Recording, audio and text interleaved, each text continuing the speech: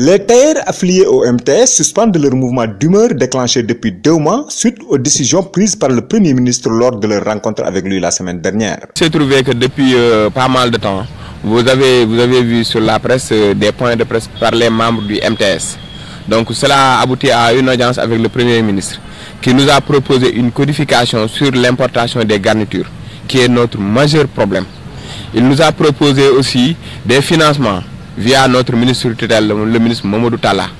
Donc il nous a proposé aussi une comité de suivi sur tous ces travaux qui concernent le secteur, mais aussi qui concernent l'unité de production que les Chinois doivent installer à Djamnyadjo.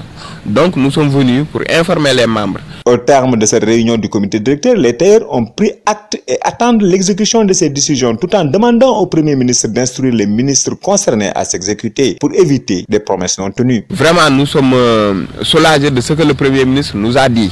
L'essentiel de nos revendications a été tenu en compte par le ministre et nous lui suggérons à dire à ces ministres de nous accompagner sur cela. Dans ce cas, nous, nous serons en mesure de l'accompagner sur euh, l'emploi des jeunes, euh, la formation, tout cela sera du bénéfice de, de, de l'État du Sénégal. Nous allons de pied ferme suivre cette exécution. MTS de mettre en place une unité de production comme celle des Chinois et réclame un espace dans le pôle industriel de Djamnyadjo, mais aussi souhaite bénéficier de l'AGOA.